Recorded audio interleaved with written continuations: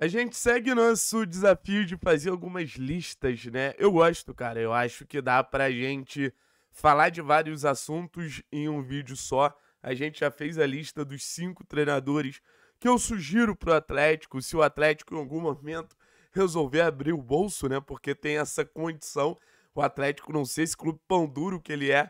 E acho que ficou bem legal. Tá aqui no canal. A gente vai ter algumas várias listas aqui nos próximos dias nessa data FIFA. Se você tiver alguma sugestão, pode deixar aqui embaixo. E quando for deixar a sugestão, deixa o like, se inscreve no canal. Essa moral de vocês é muito grande. Agradecer a KTO, parceira do canal. E vamos explicar para vocês qual é a lista da vez. A lista da vez são cinco jogadores que eu vejo na reconstrução de um Atlético vencedor. O Atlético de 2023, para mim, ele está num processo de reconstrução. O Atlético de 2022 ele não tinha sustentação suficiente para segurar duas temporadas. Tanto que várias referências do Atlético de 2022 já não estão mais no clube. Eu acho que a gente está começando uma nova jornada. Uma nova jornada onde vários bons jogadores chegaram, bons jogadores já estavam no clube, e agora a gente tem o desafio, a partir desse treinador, se vai ser o Wesley ou não, não sei. Mas o Atlético ele tem o desafio de formar uma equipe. E o Atlético ele tem belíssimos jogadores para isso. Olhar uma perspectiva dos próximos dois anos, assim, uma geração como, por exemplo, foi 18, 19, 20, 21, eu acho que o Atlético ele pode pensar em 24, 25, com várias peças que já estão no clube, sabendo, obviamente, que um Bento vai deixar o clube. A tendência é essa, né? Que o Vitor Roque já está fora do clube. Então a gente tem que buscar novas alternativas para serem referências técnicas, peças importantes para levar esse Atlético nos próximos anos, nos próximos momentos e até mesmo em 2023. Tá? Então vamos dar uma olhada aqui nos jogadores que eu separei. Primeiro começa com esse camarada aí, que chegou e se adaptou muito rápido. Talvez a gente veja um processo acontecendo que é o Kaká sendo substituto do Thiago Heleno, tá? Eu sei que é, é complicado a gente falar isso do maior zagueiro da história do clube, mas a adaptação do Kaká ela foi tão rápida, o nível que o Kaká vem demonstrando, ele é tão animador que eu acho que em 2024 a gente já vai ter um Kaká como principal referência da zaga do Atlético. Porque eu acho que o principal sinal para isso é que antigamente era o Thiago Heleno que potencializava os zagueiros, hoje é o Kaká que potencializa o Thiago Heleno muita força física, senso de posicionamento muito acima da média, boa capacidade em duelos individuais, velocidade. Não é à toa que o Atlético ganha uma concorrência de outros clubes relevantes do futebol brasileiro, Botafogo, Grêmio, e o Kaká ele já chega e já consegue impactar rapidamente essa zaga do Atlético. Acho um belíssimo jogador, belíssimo, belíssimo jogador.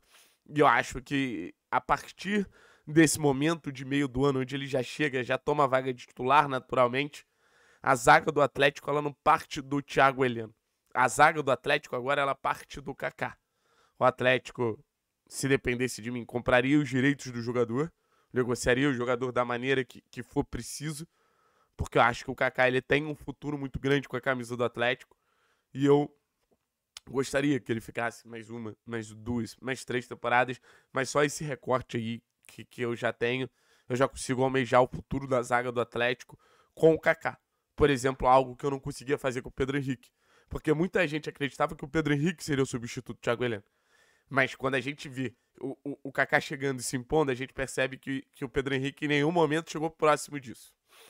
Agora a gente vai dar uma olhada no próximo, esse rapazinho aí, que eu acho que chegou na hora certa, no lugar certo, né? É, é impressionante como o Léo Link ele vai nos passar uma tranquilidade absurda pra uh, vender o Bento, velho. Porque, assim, vários clubes grandes, relevantes do futebol europeu chegaram no Atlético falando o seguinte: a gente quer o Bento. O que é que o Atlético ele pode fazer? Cara, vende Bento 15, 16, 17 milhões de euros. Porque você já tem um goleiraço. Ah, mas o Léo Link tem que ser titular hoje no lugar do Bento? Não, eu acho que as coisas elas têm que acontecer no tempo certo.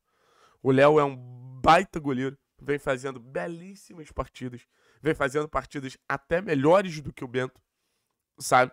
O Bento nos últimos tempos não vinha sendo aquele goleiro tão decisivo. O Léo vem sendo extremamente decisivo. Então acho que em 2024 o Atlético ele tem esse aval para vender o Bento. O Léo Link é o goleiro que chega e dá tranquilidade pra gente fazer uma negociação que poderia ser muito mais nociva. Se a gente perde o Bento antes dessas atuações do Léo Link, acho que todo mundo ficaria absurdamente mais apavorado. Agora parece que, que a coisa ela tem lógica, né? A gente vende o Bento, tem o Léo, tá tudo certo. Acho que é, vai ser mais o goleiro da grande escola de goleiros do Atlético. Esse aqui, velho, quem diria, hein? Pra mim, assim, não acho um absurdo falar que tá entre os top 3, top 2 melhores jogadores da temporada do Atlético e, e faz falta, né? Quem diria que eu sentiria falta de Agostinho Canobi? Um dos caras que eu considerava um dos piores jogadores do Atlético na temporada passada. Começa a temporada fazendo um bom estadual, depois cai de novo, depois sobe.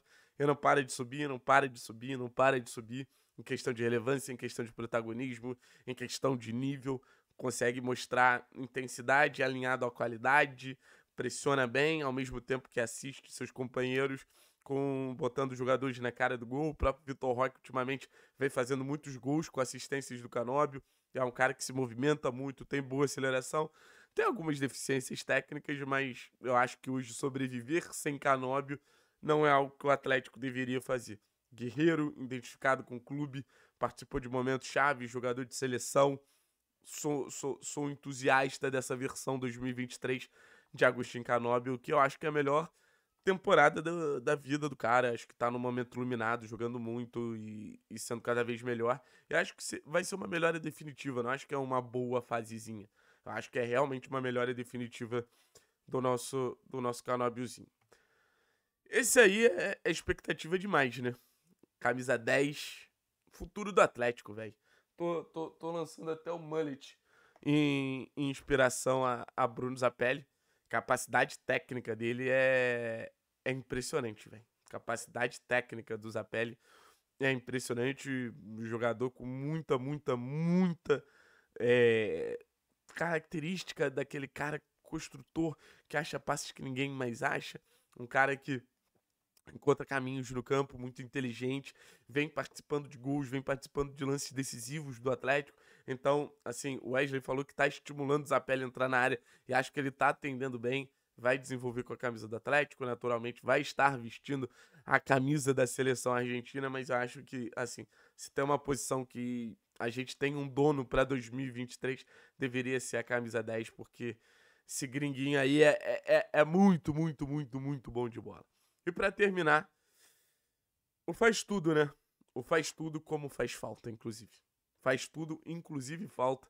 Nosso menino Christianzinho, muito talentoso, velho muito talentoso, às vezes muito discreto, mas muito importante na construção desse Atlético, muito assertivo, muito dinâmico, pressiona bem, fisicamente muito preparado para todas as fases do jogo, inteligente para fazer desde a saída de bola até a chegada mais à frente, tem gol, tem entrada na área. O Christian, cara, é assim, ouso dizer que é o jogador mais completo do Atlético e quantos dias para voltar, porque acho que muito do momento crítico do Atlético passa pelo Christian, mas nessa reconstrução acho que o Atlético ele tem que priorizar o Christian. Da mesma maneira que hoje prioriza, por exemplo, o Vitor Roque, o Christian é um talento desse nível, iria ser convocado para a seleção. Desse nível não sei, mas iria ser convocado para a seleção brasileira. Muito importante e, e, acho que, por exemplo, auxilia Zapelli, auxilia Canobi. Quem joga ao lado do Christian acaba sendo um jogador melhor, sabe? Então separei aqui cinco pilares que eu acredito da reconstrução do Atlético, jogadores de muito futuro, jogadores alguns formados pelo clube, como é o caso do Léo. Querendo ou não, acho que o Christian também passa por essa questão de formação do clube. Alguns jogadores que chegaram, Kaká, Canóbio, Zapelli, a gente ainda tem Esquivel, a gente ainda tem Coelho. O Atlético tem tudo para fazer um grande time, um time jovem, um time de futuro. Precisa de um treinador. Acho que o Wesley vem dando uma cara muito maior, vem dando uma bagagem tática muito maior da equipe e o Atlético ele tem perspectiva, o Atlético vê luz no fim do túnel, só precisa ter um pouquinho mais de assertividade em algumas decisões e acreditar no processo. Acreditando no processo, esses caras aí, eles garantem muita, muita, muita coisa. Beleza, pessoal? Tamo junto, é nóis. Obrigado pela moral de sempre. Valeu, valeu, valeu!